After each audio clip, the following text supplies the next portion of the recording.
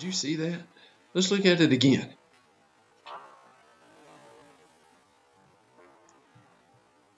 Well, if you want to know what's going on here, Yes. we need to go back in time one hour.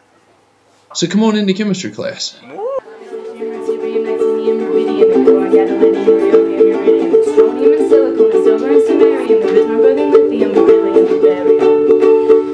There's holmium and helium and hafnium and erbium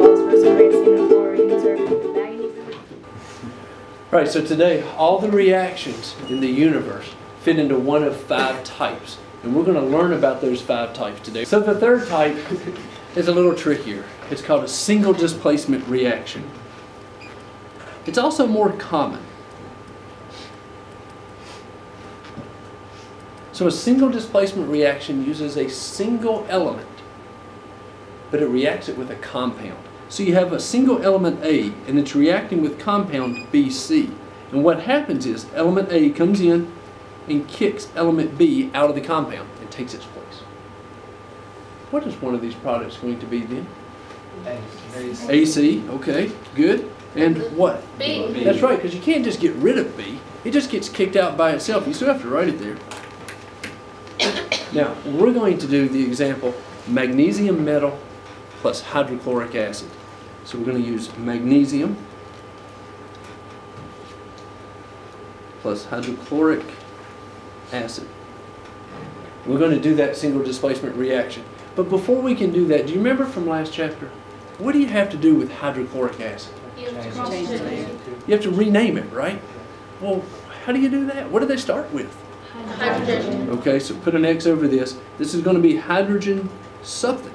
Is this hydrogen chlorate or chloride? Chloride. Ah, that's right, hydrogen chloride. Now it's important that you rename that acid because the magnesium is going to come in and kick the hydrogen out. But if you didn't rename it, then you might make the mistake and say magnesium is going to kick hydrochloric out you're going to have magnesium acid. That's not one of the products. It only works if you rename the acid. So what will one of the products be? Magnesium chloride. All right, so magnesium chloride. But what's the other one? Hydrogen, that's right. And again, it's okay if you don't write the formulas as fast as I do, as long as you know how to write the formulas and crisscross the charges. Magnesium is Mg, hydrogen chloride, that's H and Cl. H is plus 1, Cl is minus 1. What do you do there? It cancels out. cancels out, so it's just HCl for that formula. Now, magnesium chloride, magnesium is plus 2, chlorine is still minus 1. What happens there? It crisscrosses, right? So what's MgCl2. That's right, MgCl2. Okay, and then the last product is going to be what? H2. Well, why is it H2? It just says hydrogen. It's one of those seven diatomics, that's right. But now we got problems. Look at this. There's one Cl on the left, but there's two on the right. Is that right? Put, put a two on the HCl. So put a two over here. All right, does that fix it or does it need more balancing? Yeah, it does. That takes care of it. All right, now we're actually going to do this experiment a couple of times and look at it in, in a couple of different ways. If you'll meet me over at table four, we'll do that experiment now. For single displacement, what we have are three test tubes of hydrochloric acid. We're going to run all three of these experiments at the same time. This is magnesium metal. We've got a piece for each. This will be the basic reaction here. We'll put the magnesium metal into the acid. It's going to bubble. Do you remember what the bubbles will be made of? Hydrogen gas, that's right. Oh, now, because the hydrogen is leaving the test tube, when we do it on this balance, we ought to see these numbers become negative, and they ought to lose mass. Now, are we really losing mass? Where's it going? Out. Yeah, out, into the atmosphere, right? But it also generates heat. And over here, right now, we have a temperature probe in the hydrochloric acid, it's 21.4 degrees. We'll drop the magnesium in, and we'll monitor that temperature, and I think we'll do all three of these at the same time. Here we go. This is experiment one, two. Mm-hmm.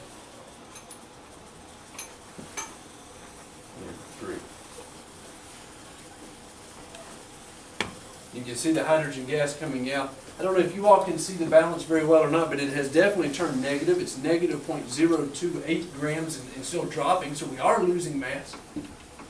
This temperature's gone up to 42 degrees and still climbing. Are we destroying matter here? Why is this getting hot then? What's it turning into? Well, we're turning into hydrogen gas, but where's the energy coming from? Do you, do you remember the law of conservations? Which one says you can turn matter into energy? Which LOC is that? Is it mass energy? It is mass energy. That's right. We're turning matter into energy here. We're all the way up to almost 68 degrees. This has dropped down to negative 0.126 grams, so we're losing hydrogen there. This one has quit reacting altogether. It's, it's used up all the magnesium. Mr. Mitchell's class is great because it manages to challenge me and teach me new things. Mr. Mitchell makes it interesting to me. Mr. Mitchell knows how to make every student feel special. He Cares about us personally as well as academically. If we need help, he's always there to help us. He challenges us. Because no one gets left behind. Because Mr. Mitchell genuinely cares about each of his students. The next type that we do is the most common of all. It's called double displacement. It's also the trickiest of all. It's type number four. And the name of it gives it away. Single displacement was one element replacing another. What's double displacement going to be? Got it. That's exactly right. So now we have compound AB. And it's reacting with compound CD. This is the only one that's a compound plus a compound. Let's label this arrow. What do you think? It makes sense following the system we've been using, DD. So in this example, A comes over, kicks C out, but now C has a place to go. It comes over and takes A's place. What is one of these products supposed to be? AC. No, not AC. AD and CB. A and C are both positives. Remember, the positive elements get written first.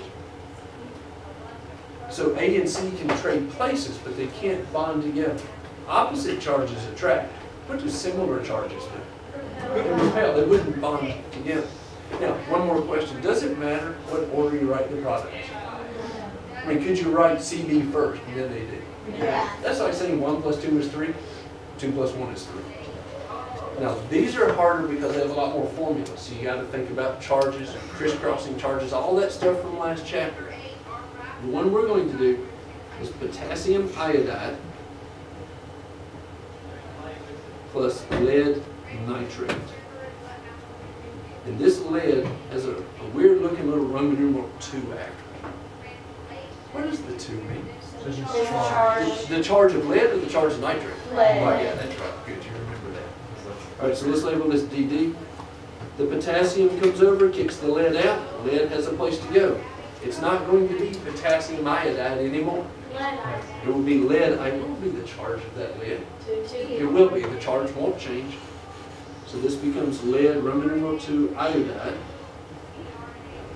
And it won't be lead nitrate anymore either. Potassium nitrate, that's right.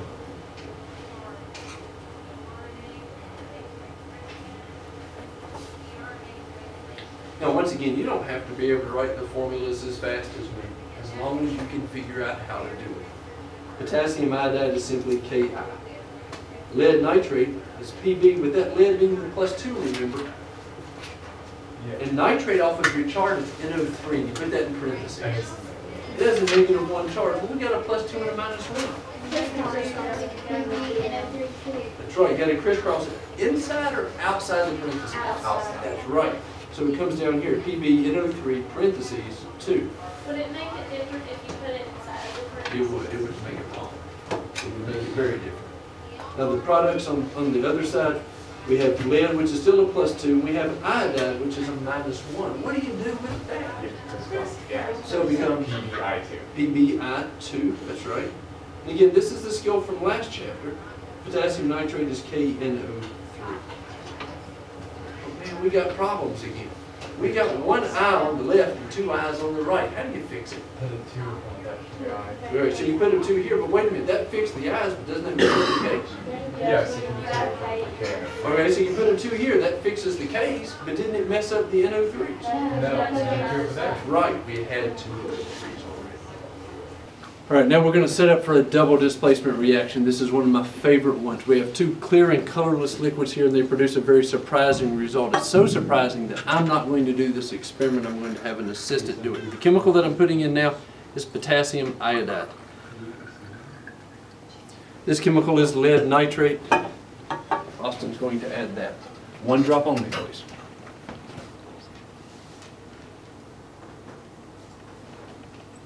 Look at that. Two clear and colorless liquids combining to make new products, just like we saw on the screen. One of them's yellow. Lead iodide is a yellow solid. Mr. Mitchell goes the extra mile to give me the individual help that I need. I like this class because Mr. Mitchell is a model teacher for the school. I like this class because Mr. Mitchell is very interactive with us. Because we can be ourselves.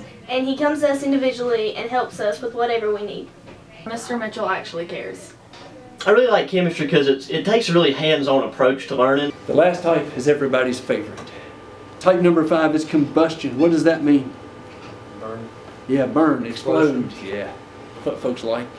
To do this, it's not an A, B, C, D experiment.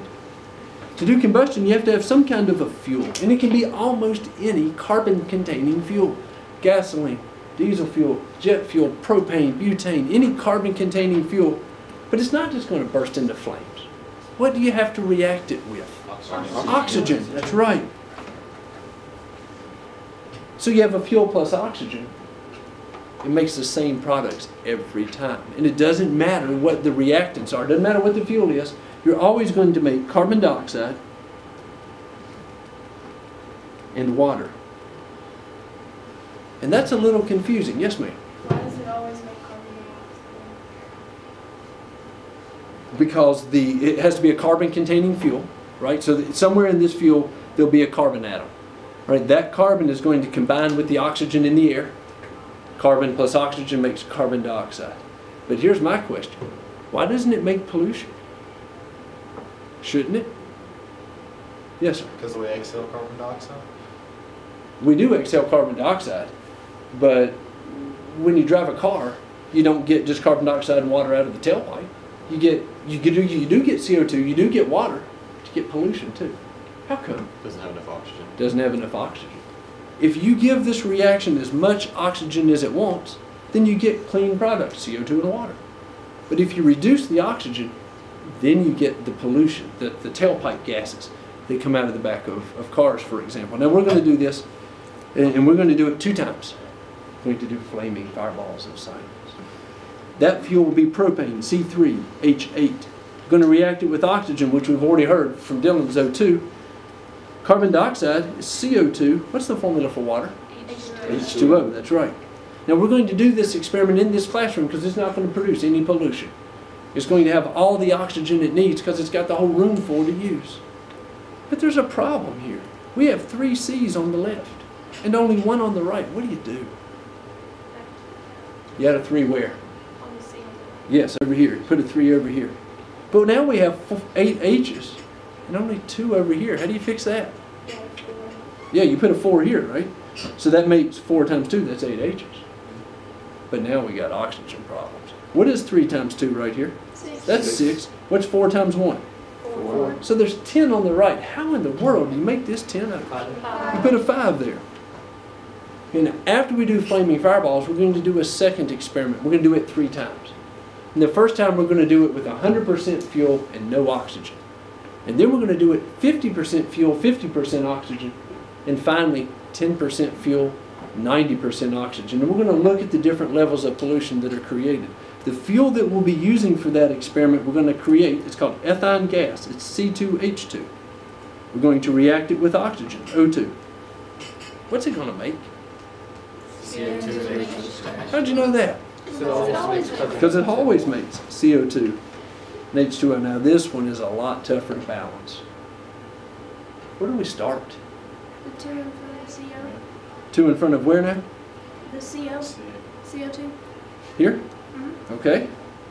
Now what? The two at the very front. Well, if we put a two here, that's four C's. So, So you have to make the four there. and make that, and I erase the C. I can fix that. All right. Does that do it? No, that doesn't do it. Doesn't do it. Uh, how many H's are here? Four. Four. So what, a two there? Yeah.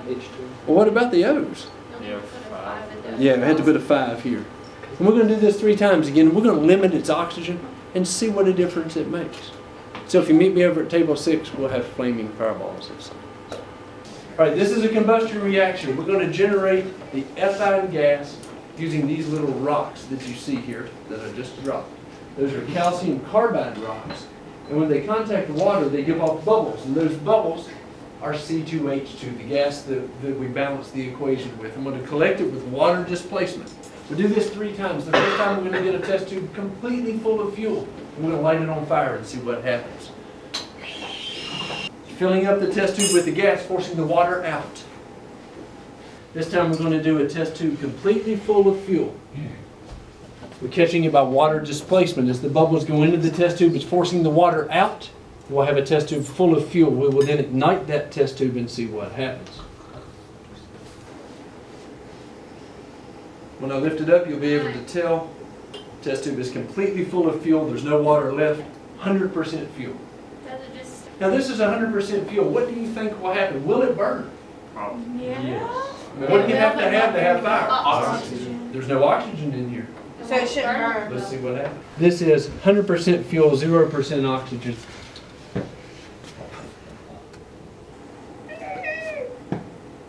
Oh. Do you see it burning? Yeah. Right at the top of the test tube. Why is it just burning right there? That's where the oxygen Because that's where the oxygen is. And actually, if I run a little bit of water in here, it might flare up. Oh my gosh. Why did it, why did it flare up? Because Because water has oxygen. Well, no, That's The ethane gas was forced out. It, it mixed oxygen down in with the gas and caused it to burn. All right, let's do it one more time now. This time instead of 100% fuel, let's do 50% fuel. Are you okay? See the water run out? Oxygen took its place. Now I do need to shake it up. How come? To mix it. So now we have 50% fuel, 50% oxygen. Should we have combustion? Okay. Yeah. Well, let's find out. Trial two, combustion, 50% fuel, 50% oxygen. Here we go. So we did have combustion. You see all that pollution? Yeah. Why do we have pollution? There's water. There is, a, there is a little bit of water in there because it's producing some water and some carbon dioxide, but we didn't have enough oxygen. So we have is this pollution. You can actually see it in the air here. Ten percent fuel, ninety percent oxygen, we hope. Here we go. Ten percent fuel, ninety percent oxygen. Oh, ten percent fuel, ninety percent oxygen. Oh, oh Lord. That's total combustion. Heck yeah. And it worked, and you can even see the water that we produced inside. We just made carbon dioxide and water. Why is there no pollution this time? All the oxygen. Plenty of oxygen. We'll be using propane as our fuel, flaming fireballs of science. All right, so this is a meter stick with a candle on the end or a West Virginia flashlight. I'm going to make bubbles right here. You hold that down low. And what's going to be in this bubble? Propane. When But she, if when the she pop, in the bubble, where's the oxygen coming from? where do you think? The air. That's right. So she has to pop the bubble to have fire. Ready? One, two, Has the meter stick ever caught any on fire? Oh yeah, the meter stick is caught on fire. Is that why? now, when, yes, when the meter stick burns, do you have pollution and smoke and all that stuff? Yes. Sure, because you don't have. Yeah, you don't have enough oxygen to make it burn. Yes. One. You shake my nerves and you rattle my brain. Too much love. Now you can't see it as well, but I'm making the same kind of bubble we made before. What I before. feel, I said, goodness gracious, great balls of fire. I laughed at love because I thought it was funny. Now, folks, as this as this bubble forms, tell me why why don't we have any pollution? That's right, we have all the oxygen that the fire wants. So we're just producing what and what? Carbon dioxide water. I can't see the water. Where is it? Yeah, it's evaporating. It's water vapor. you're so kind. Gotta tell the world that you're mine, mine, mine.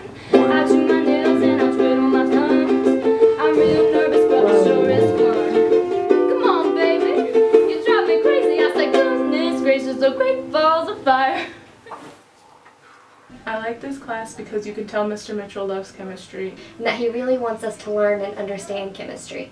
Because Mr. Mitchell actually like really cares about his students. Because I learned more than just chemistry. I learned history and politics and how to apply all this into my everyday life. Mr. Mitchell will always go the extra mile to make sure it makes sense. You're always involved with everything that you do. It's always interesting and you never know what's going to come the next day. Mr. Mitchell cares about his students and he's always willing to do anything to help. Because he makes chemistry relatable to life. Because the teacher makes me feel like a person and not just a grade in the book. My most memorable moment in this class was when I got to explode fireballs with Mr. Mitchell. Taught me how to think, but not what to think.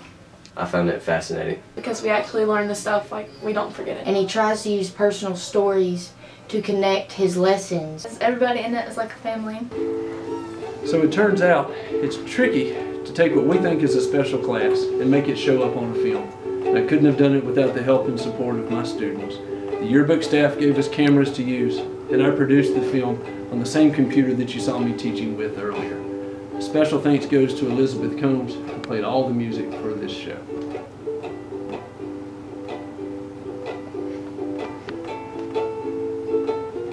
Anything He you makes me feel like a smarty.